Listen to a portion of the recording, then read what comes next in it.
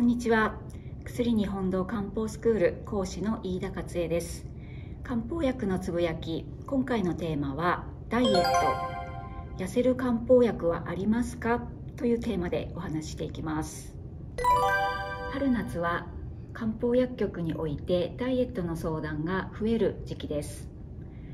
季節の引用リズムと体の関係から言うと陽の季節である春夏はえダイエットをするには効果的でかつ体に負担がなく、まあ、体に負担少なくえ実施することができます。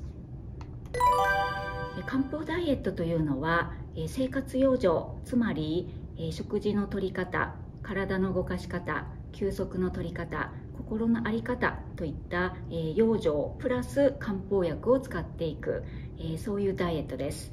で漢方薬を使うにあたってはえー、太りやすさつまりま肥満ですね。肥満にはタイプがありますのでそのタイプに合わせて漢方薬を使っていくということが大切です。肥満のタイプは大きく4つ分けることができます、えー、1つは気虚タイプ2つ目は気体のタイプ3つ目はおけつのタイプそして最後は湿熱というタイプなんですね。一つずつタイプと代表的な漢方薬を見ていきます、えー、まず気虚のタイプですがこちらは栄養不足で代謝が低下しています。疲れやすくむくみやすく胃腸が弱いタイプです。そんなにあの食べていないのに太ってしまうというようなタイプですね。代表的な漢方薬は防胃扇糖という漢方薬があります。普段から疲れやすくて汗をかきやすい風邪をひきやすい、えー、そして体が重だるくて、えー、むくみもあるといったような方に使っていく漢方薬です。体力があまりないんですけども、えー、虚弱なんですが太ってしまうというはいそんな方が使っていく漢方薬です、え2つ目は気体です、えストレスが多くてイライラしやすい。えお腹が張ってゲップが出やすい、生活は不規則でですね、変色とか過食気味の、はい、傾向があります、リバウンドもしやすいタイプにあたります、こんな方は上昇陽酸という漢方薬が代表的です、気分が不安定で頭痛や肩こりがある、不眠月経不順や、月経前に体調が悪くなるといった方が使っていく漢方薬です。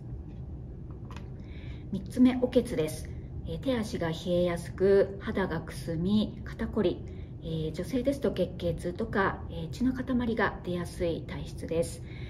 あの加齢とともにですねちょっと太ってきて痩せにくくなるといったような肥満のタイプもこちらであることが多いです。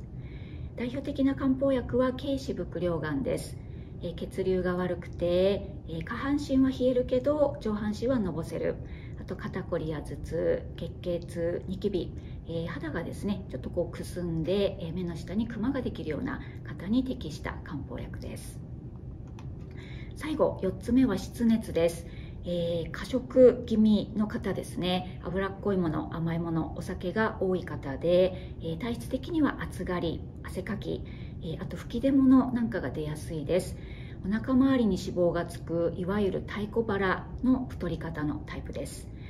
代表的な漢方薬は防風通症酸です、えー、便秘がちで、えー、湿疹が出やすい、えー、のぼせむくみ、え腹部に皮下脂肪がつきやすい方ですね。でこの防風通症酸はダイエットでは有名な漢方薬なんですけれどもただこちらは気血水すべてに滞りがあって、え体力のある方向けの漢方薬なんですね。えー、気血水の滞りをとっていきますので、えー、普段疲れやすい人ですとか胃腸が弱い人は、えー、少し体に負担がかかることがありますので、はいえー、そういう方には適さない漢方薬です。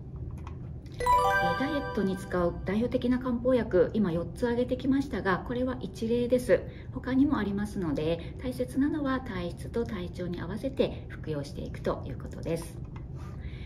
えー、では痩せる漢方薬はありますか？という冒頭の質問なんですが、えー、答えとしてはあります。が、えー、気血水の不足や滞りを改善していくことで結果としてその人に合った体型や体重を目指していくというのが、はい、漢方薬の、え目的になります。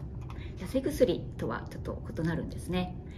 え漢方ダイエットで漢方薬を使うメリットは単に痩せるということだけではなくて気になる症状や体質を改善しながら健康的にダイエットをしていくものです。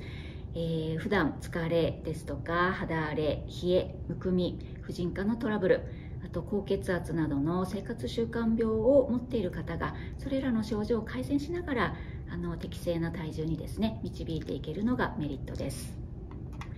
え注意点としては漢方薬を使う際は先ほどお伝えしたように自分に合ったものを使うことが大切です。合わない漢方薬だと体調を崩す人も中にはいらっしゃいます。例えば体重が落ちたのに体力も落ちてしまって疲れやすくなるですとか、えー、せっかく痩せたのに肌の色艶が悪くなったり冷え性がひどくなったりっていったことも、えー、中にはあるんですね。はい。ですから体に合ったものを使っていくようにしましょう。え最後に漢方ダイエットの特徴です、え1つは生活養生プラス漢方薬を使っていくということ、え2つ目は個人差を重視します、え今日ご紹介した4つのタイプありますのでタイプに合わせて実施していくということです。え最後3つ目は、え体調や体質気になるものがあればそれらも一緒に改善していけるという、はい、特徴があります。え心と体が元気になる健康的なダイエットをしていきましょう。参考になりましたらチャンネル登録をよろしくお願いいたします。ご視聴ありがとうございました。